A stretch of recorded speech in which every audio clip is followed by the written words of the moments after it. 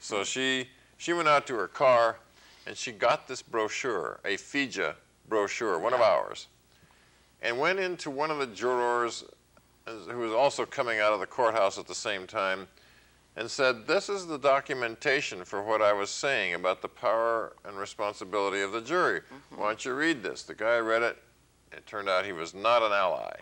Yeah. He had been polite to her, but he was not convinced by her arguments. He ran in and gave it to the judge and the DA, and a few weeks later, Laura Kriho was arrested for jury tampering. That's right. For mm-hmm. but obstruction whole, of justice. But but just to, to inject that here, the trial was over.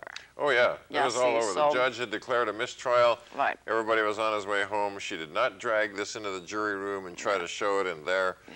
She didn't break any rules at all. That's right, because the trial was yeah. over. Yeah, she just said, "This is how I learned yeah. that I can do the right thing, even if the law says mm this."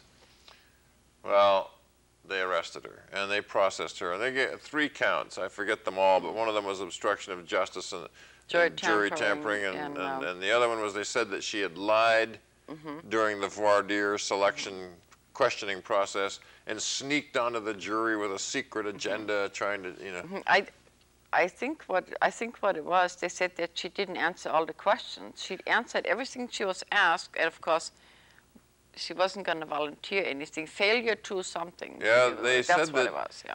She should have said that she knew about her power as a juror at that That's point, even so though she wasn't mm -hmm. asked. She was under no such obligation. Yeah.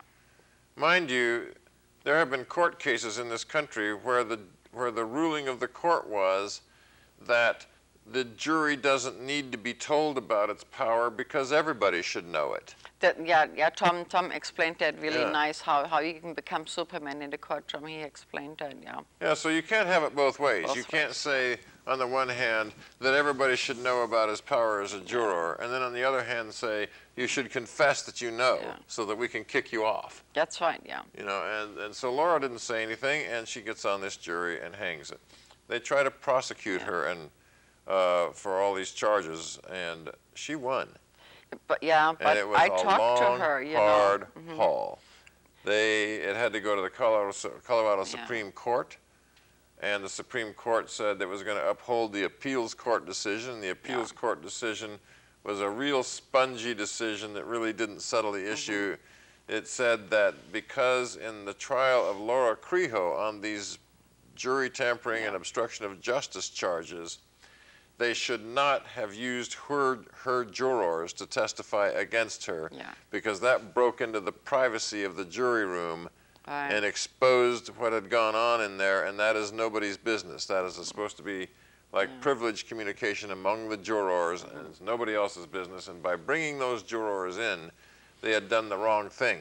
Well, you see, they avoided the question mm -hmm. of whether or not she was right they settled the issue on the case on well, the basis of the they interviewed the wrong people. Well, but if she had said she was right, bingo. Well, if they had said that she was right, that, we would be in business. That's like the alien thing, you know, when you have an encounter with, uh, and, some people, they, they do run into things, and by law they can, they can pick you up, quarantine you, and hold you without a hearing for one year. But that, like in the movie E.T., but it doesn't happen very often because there is a law, it, is, it says, they say aliens don't exist. So how can they prosecute you in reference to something that doesn't exist? Yeah, same, in, in Laura's case, they basically made case. up a new law. That's right. They basically yeah. said you have to spill your guts out even though we don't ask you the questions. Yeah. And that was her lawyer's best defense. He was going in there and say, where is the law that says she's supposed to answer questions she was never Wasn't even asked, asked? Yeah. Now, when I when I talked to her, the reason I, I spoke to her personally when because of the workshops, I wanted to make sure I didn't misquote her. And what I asked her at the time was, you know, how uh, how she survived it emotionally, and what was the biggest thing that she learned from the whole lesson. Yeah. Yeah.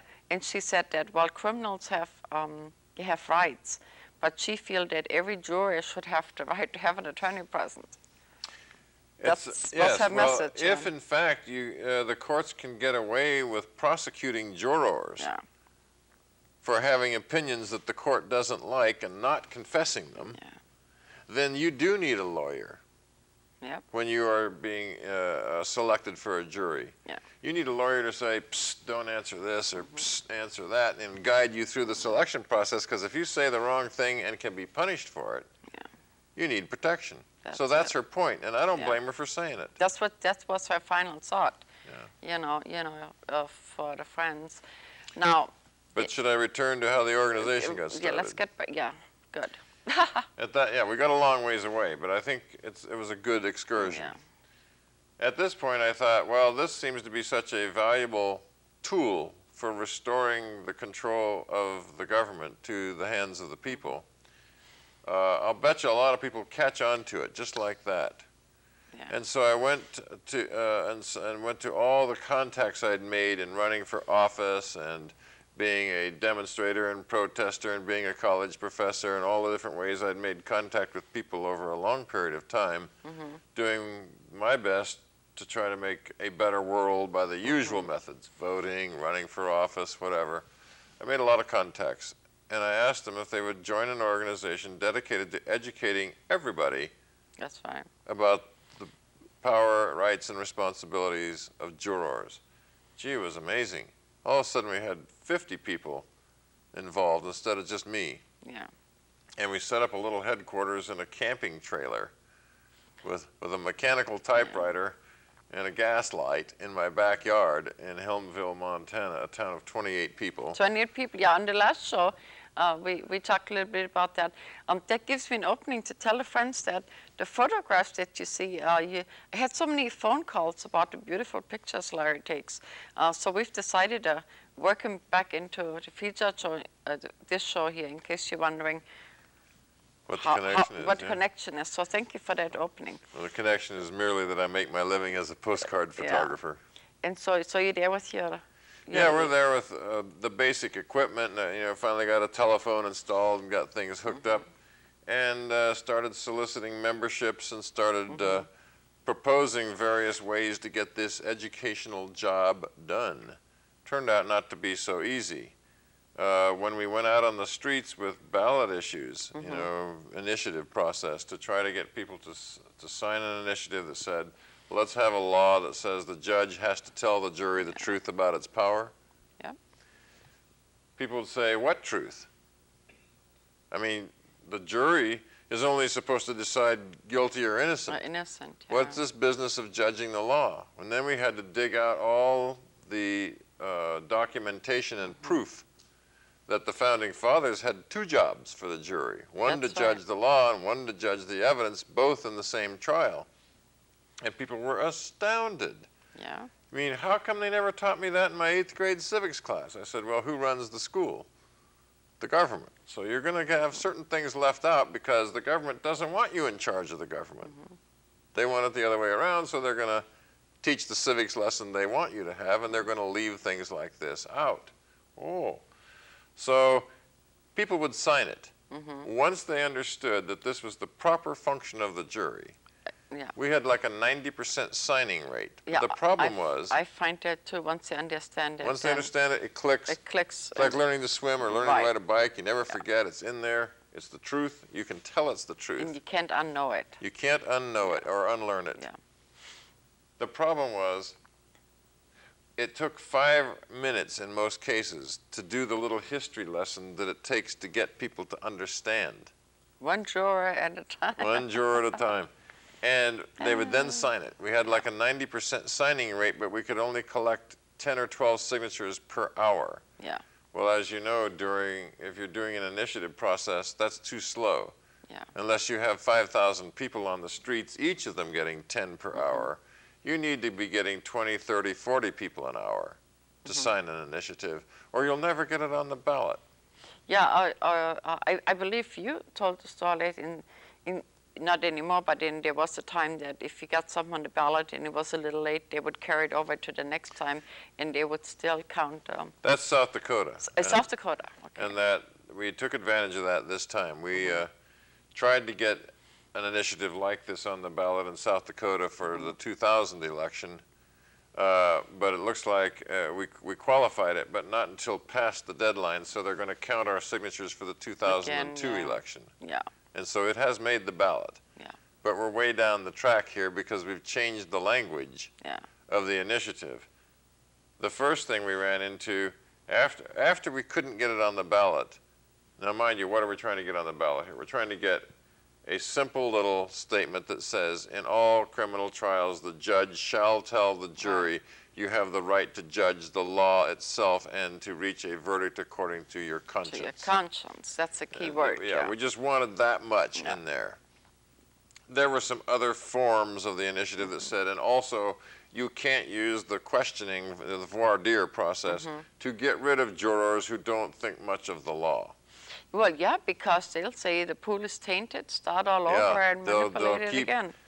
Taking Yeah. people out of the jury pool until everybody that's left agrees with the law, and then it doesn't matter what instruction you give them. Then they'll hang you. So there, there was a lot of things that we tried to put into law through the initiative process, but they all took too long to explain. So we thought, well, there's always some good people in every state legislature. Maybe we can go to the legislature, like all the other special interest groups, find a, an honest legislator or two, get a bill together that says basically the same thing that we wanted in an initiative and get it through the Judiciary Committee and then the House and then the Senate and then the governor sign it, just like uh, the just like they teach you in eighth grade civics class. They do, yeah. So what we found out was that the Judiciary Committee was the bottleneck. It's all full of prosecutors. Not current prosecutors, because you can't be both a prosecutor and a legislator at the same time, but ex-prosecutors, or people who were on leave from the prosecutor's office while they sit on the legislature and then they go back, you know. Whatever. These guys are not happy with our idea because it means that they're not going to have as many kills. That's right, yeah. It's, it's harder to convict somebody if the jury can use its conscience. So, so then eventually, I, would- uh, I sidetracked you a little bit here, I believe. Um, it, it took so long with, with the little five-minute speeches. It took so long. That we switched to trying to do it by Then- legislation. Then, then you switched it, and And that turned out not to be so good either, because the legislature would resist in these judiciary committees and not let the full Senate vote on it or let the full House vote on it. They would kill the bill. And it was always, you know, they would, they would make up excuses just dragging them off the wall every direction. But the real reason uh, was that the prosecutors control the committee and the prosecutors don't want, they don't want you to have an even chance in court. Yeah. They want to have the deck stacked so they can get a kill and look like they're doing something for law and order, even if all they're doing is putting innocent people in, behind bars. They don't care about justice as a, as a rule. They care about winning. Yeah, we and, and, and we had explained about the more non-criminals you get in jail, uh, the more la- slave laborers you have. Yeah, and we, we, it contributes to the prison Yeah, industry. They get to build new prisons. There's slave That's right. labor in the prisons. Yeah. It feeds that interest. It makes the judges look like tough guys. It makes the prosecutors look like tough guys. More law and order, all this other stuff. Pretty soon you have a police state. Which we're rapidly approaching. Yeah. And you come along with a better idea, like telling the jury the truth about its power, and I mean, you are over here screaming in the wilderness, Yeah. and the legislature are going that way. It's over here. Now, in the meantime, who's financing you? We're financed by uh, mostly by people sending in 10 and 15, 20 dollars at a time just to keep us going. There's thousands of them out there that believe in us, with an occasional grant from a large co- uh, foundation. I understand originally you made a loan. And, And in South Dakota, I had to put up a tremendous amount of money because uh, some of the people that were doing the initiative were making expensive mistakes. ah, For example, you can pay petitioners, right? You know, you can you can pay them by the signature, you know, and that's legal in most states, and it's legal in South Dakota. You say we'll give you 75 cents or a dollar for each Yeah. valid signature that comes in, or each signature, and we'll worry about the validity rate ourselves or whatever. Well, there was a couple of women over there who've been making an illegal and fraudulent living by sitting on their front porch writing names out of the phone book and trying to change their handwriting and switching pens and or having a, good, a no. signature party where half a dozen people sit around a keg of beer and just sign all day long and they turn it in and then they say these are valid signatures yeah. they're not we found 8,000 bad signatures and we were Oh, out of money money, and with only a very short time to go so and this, this is a very interesting side trip at this point. I put up the money and borrowed it on my credit cards and from friends mm-hmm. and relatives to pay for 8,000 more valid signatures.